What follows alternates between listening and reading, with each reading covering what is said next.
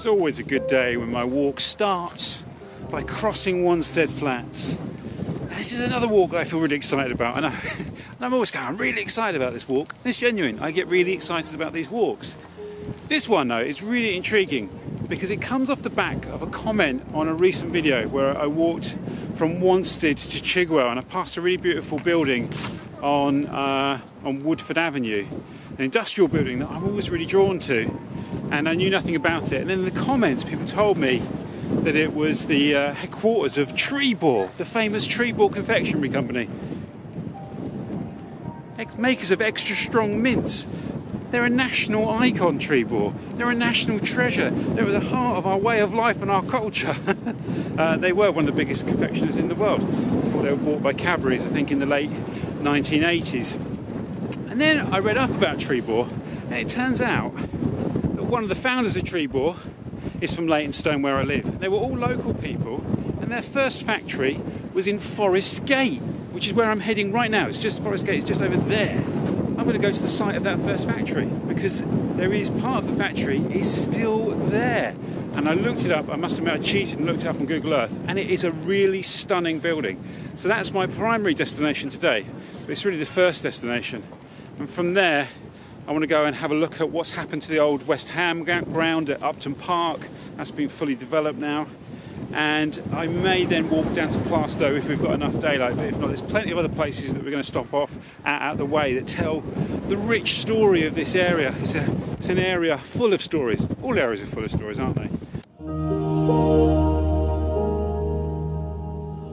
One of the uh, persistent myths about Trebor is that it's uh, Robert spelt backwards.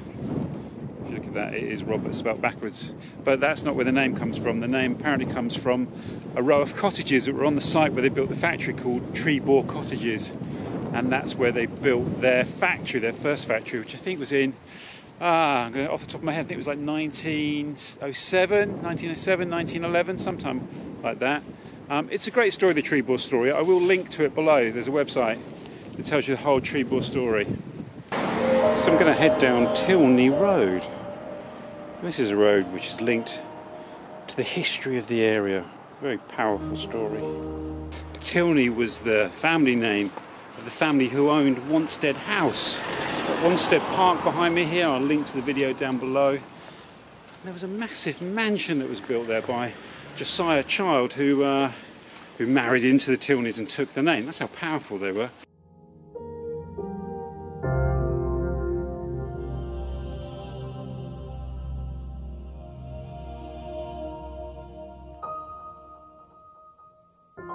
House at one point rivaled any of the palaces in Europe. It was said to be an equal to Blenheim Palace. And if, you, if you've ever been to Blenheim Palace, it's a pretty impressive building. Well, the heir to the Tylney fortune, Catherine Tylney, was uh, the richest heiress in the country.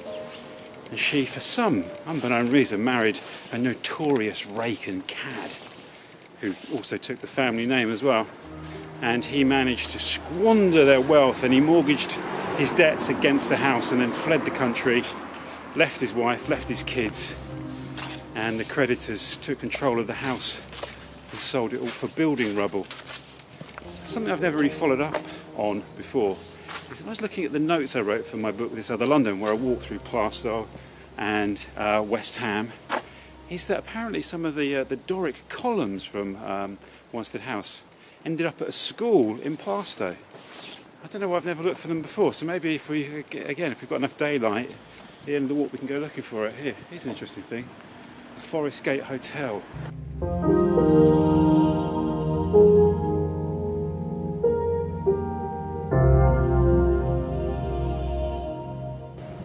We're just going to go for a quick look in uh, Manor Park Cemetery for the grave of Jack Cornwell, one of the youngest Victoria Cross awardees ever. Received at the age of 16. Local historian and Alfred Hitchcock lookalike Gary Lewis really berated me for not coming in here when I walked along the railway to uh, to Barking. So this is for you, Gary.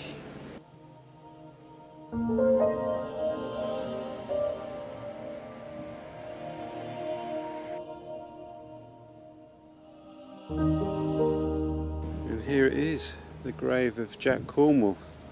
who died aged 16 at the Battle of Jutland in the First World War and was posthumously awarded the Victoria Cross for acts of gallantry. Jack Cornwell was born in uh, Leyton and we visited the park that uh, has been named after him in a few months ago, actually in one of my original lockdown walks. But I was rereading the story again this morning and it is kind of incredible story that he was serving uh, on HMS Chester in the First World War and his ship came under attack and he was a, a gunner on the deck. The thing with the guns on the decks was that they had shielding around them at the front but they had no shielding below at deck level or behind them. So any shells hitting the boat that created shrapnel it would just go through underneath the shell and would kind of um, shred their lower limbs.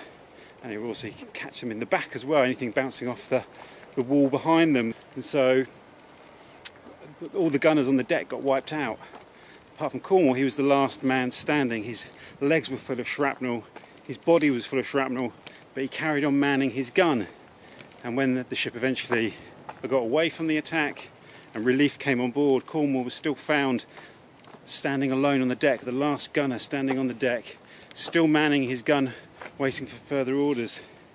He died in hospital a few days later.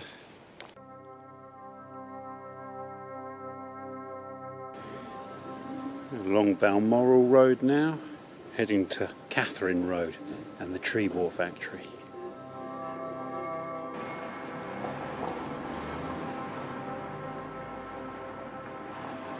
It's really interesting here in Balmoral Road, this avenue of bare trees. You really get the sense of the origins of Forest Gate, right? As a kind of an entrance, an entrance to Epping Forest, the Forest Gate. You look down this avenue here, you get you get a real sense of that.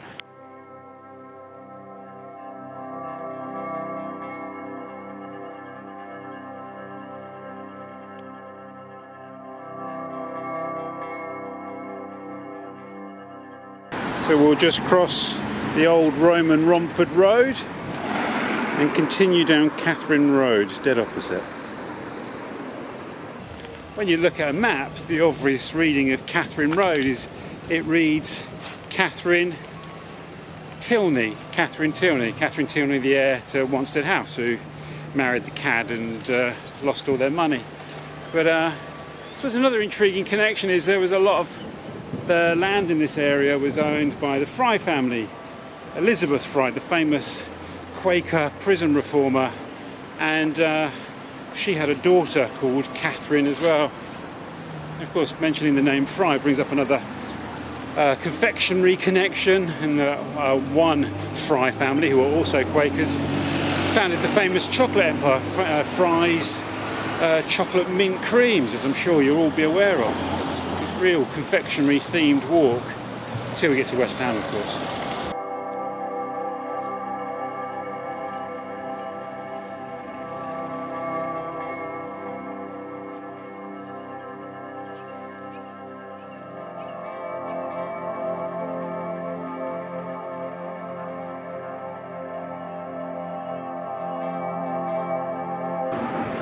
Think I can see the building looming up ahead. This is a very exciting moment as we approach the old Trebor factory. Can you see the traces of that sign, the old ghost sign here at the chemist on Katherine Road? Joe Stern. General Jobs cash buyer. Look at this beautiful building here. There was obviously once a pub, quite a grand pub here on Katherine Road. Now a bookies, a paddy power as it's called. And what a gorgeous building. I'm sure somebody will tell us in the comments what that pub used to be called.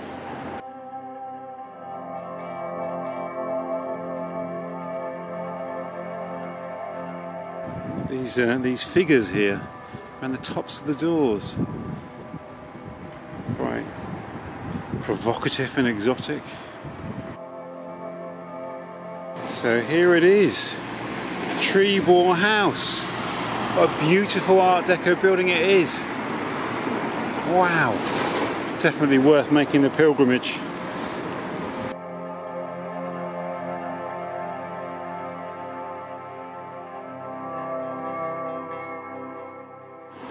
The green and white lettering is uh, said to match the green and white of these Trebor Extra Strong mints. See, can't you? What an amazing place.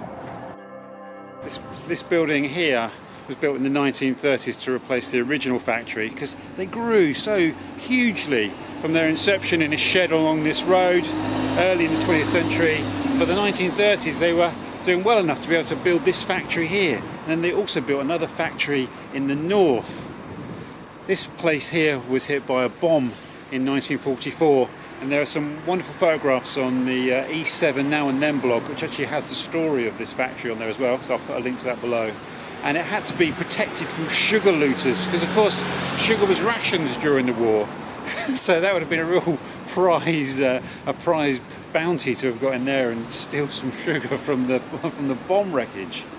The sugar used to come from nearby Canning Town, the Tate and Lyle factory, and it was uh, shortly after the bomb hit the factory, that really closed production in Forest Gate of Trebor Sweets. But its legacy is still here, and the Trebor story begins here in Forest Gate to become this massive global confectionery brand. For a kid of my generation, that place is like Willy Wonka's. Particularly, I suppose, when I was a kid, it would have been refreshers and pear drops. Right, from one national icon to another. I'm going to go down and see what's become of the old Boleyn Ground, West Ham United's home for many years. This is another beautiful bit of architecture, isn't it?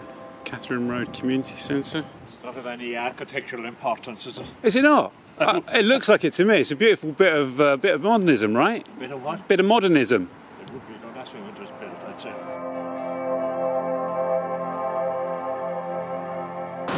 Katherine Road is real, really rich with architectural treasures, isn't it?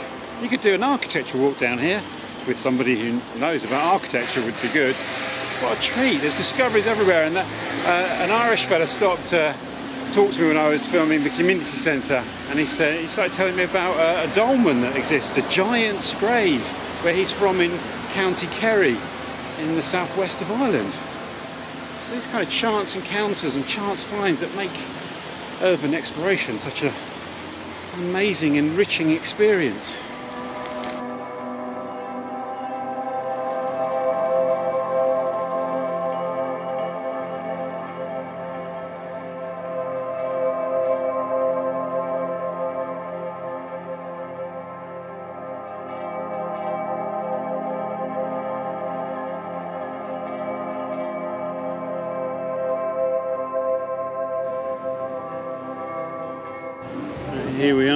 Green Street, one of the great streets of London. Historically, this was the eastern boundary of the old borough of West Ham, and before that, the manor of West Ham. On match days, there'd be thousands of people streaming along Green Street on the way to Upton Park to watch the Hammers. Sadly, no more. There was a great uh, chicken shop just up here opposite Upton Park Tube Station, the parade. When I was a student, what, when did I live up here? 1990, 1991. It was called Al Farouk's, and we'd come out of the, the tube station, we'd go there and get fried chicken, but sometimes we'd have dal with it instead of chips. Amazing. Queen's Market, that's a fantastic old covered market. I filmed in there a few years ago in non COVID times. Dropped some of that footage in here. They've got everything you could possibly ever want in here. What are these again? Pomegranate, pomegranate. Pomegranate. And what is it? Four for a quid? Yeah. I'll have uh, I'll have four of those as well then, please, mate. Is he the star? Hey, So you've got to come down to Queen's Market and buy your mangoes and pomegranates from this gentleman here. hey, yes sir, yes sir, yes sir. Thank you, thank you very much. Thank you, love. See you later, mate. Take care. The Queen's Pub. They must have been struggling since West Ham moved. This section of Green Street, in particular, between the tube station and the ground, on match days, the atmosphere along here was so intense. It was intoxicating, though. When I lived in the area as a student, we just used to come up here sometimes on match days just to sample the atmosphere. It was amazing.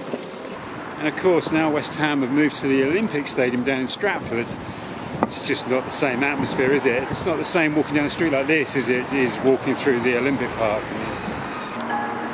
Tudor Road, that must be a reference to Anne Boleyn's connection to the area. And she's said to have either stayed at Green Street House or have, in fact owned Green Street House, I'm not sure which. So here we are at Upton Park, the Boleyn Ground, once the famous home of West Ham United Football Club. And now it's this massive development of flats.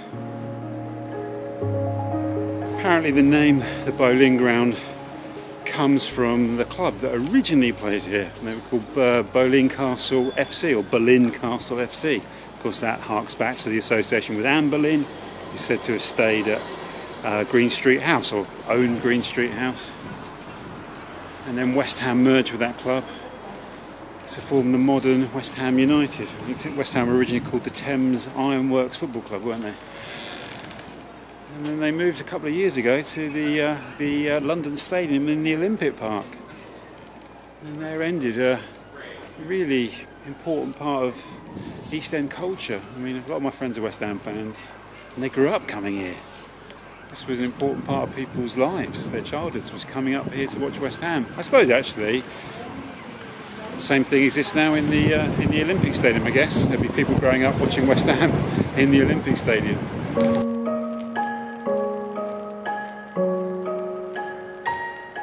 It's a nice touch. Lyall House, presumably named after the legendary West Ham manager John Lyall. He was the manager of West Ham when I was a kid. I'm guessing this used to be the pitch.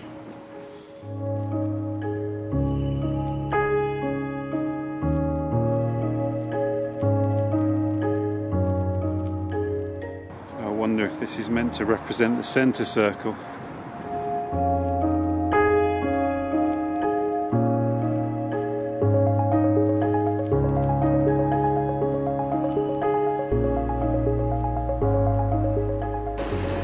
The Hammers Social Club looks as though it's still there.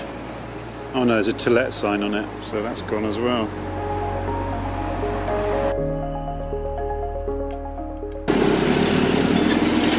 Looks as though the Boleyn pub is getting a bit of a, a makeover. Let's hope that it's still a pub and not closed permanently. And there's the statue of West Ham's World Cup winners. Bobby Moore there holding the World Cup aloft. And here we have the brilliant, essential Newham Bookshop, one of the world's great bookshops, and I don't say that lightly. An amazing institution. You can order your books online from the Newham Bookshop. I imagine they post them out to you. You can come down here and pick them up, or you can pick them up from the Wanstead tap. Oh, look. Jake Green's Pie and Mash book in the window there. I wrote an essay for that. It's a really wonderful book.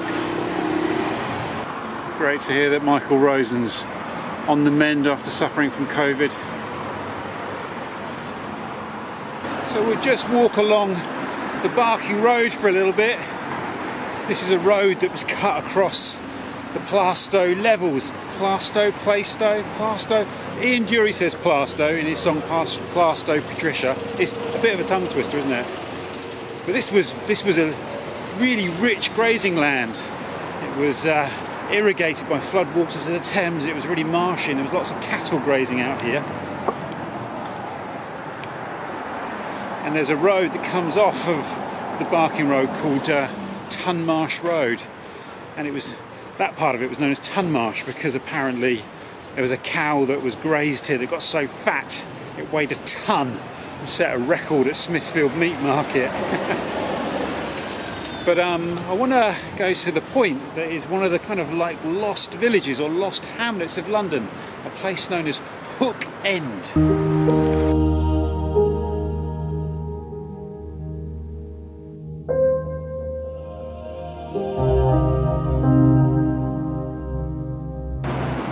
So here on the corner of Greengate Street and Barking Road was the area of Hook End, which was mentioned all the way back in the Middle Ages. And then it just suddenly disappears from the records. So it kind of goes down as a as a lost hamlet. Hook End. Should start using it again, shouldn't they? Plaistow is part of the old manor of West Ham and then the old borough of West Ham, but it dates back to at least the 15th century, if not earlier. The name is mentioned in 1414, and people believe it means a place of settlement around a green or a place of play. It's funny, Thomas Burke in his book uh, The Outer Circle Rambles in Remote London, so I've talked about that before, I love that book.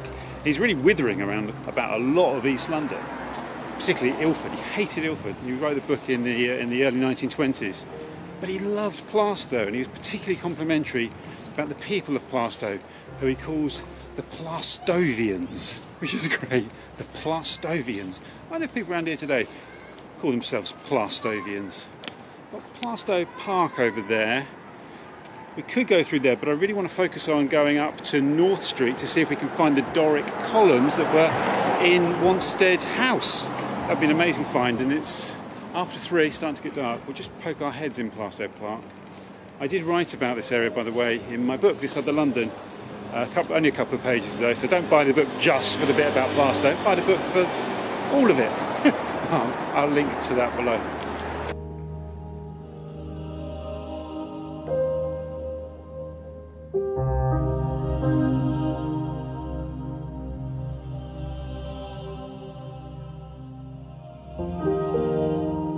Interesting, Essex Lodge was the original uh, Tudor house, the old mansion that sat in these grounds here. I think it was knocked down in the 19th century. Wow, look at this amazing kind of Gothic building here on Greengate Street. What an incredible pile that is. I wonder what it was originally. Looks at the top there like it says YMCA. I won't break into the Village People song. Once upon a time, Plaistow was the, the country retreat for city merchants. It's very rural. And that ended, of course, when the Barking Road came through, and then you had the building of the Royal Docks. And then Barking was quite heavily bombed during the Second World War, because, of course, it was really close to the Royal Docks. And you can see, look, all these houses here. There's a lot of new housing in Plaistow that was built on the sites of the bombed houses.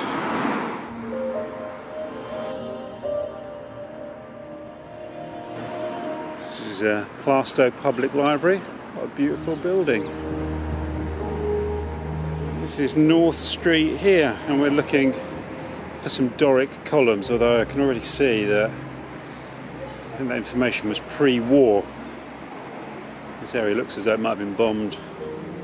Yeah, I mean, I'm not fancying my chances of finding some Doric columns from Wanstead House down here, to be honest with you. This is another amazing building. I guess it's an electricity substation.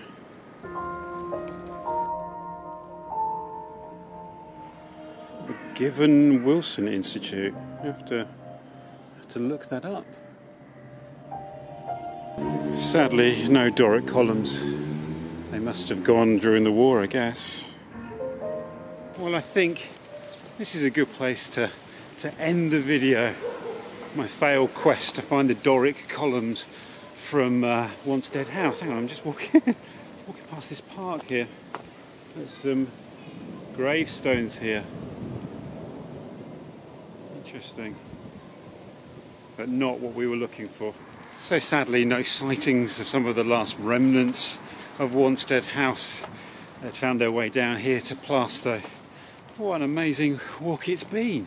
Oh, all sorts of things on that walk. I won't even attempt a summary. And I'm going to get stuck into my Trebor mints now on the walk home. So I just want to say a massive thank you for joining me on this, uh, what I might probably call Sweet East London Walk. What do you think about that as a title? You'll know if I changed it or not. And thanks again to my uh, supporters on Patreon, the Radical Ramblers and the Fellow Travellers. I really appreciate you all coming here and watching these videos and, and, commenting and sharing. I really look forward to it. The comments on this one will be great. Get down in that comment section and read the comments. There'll be some wonderful anecdotes, lots of information. It'll be fantastic. So it's uh, half three. I better get home and edit this video so I can have it online for tomorrow evening. See you on the next walk, wherever that may be. And I really mean that, wherever that may be. I genuinely have no idea.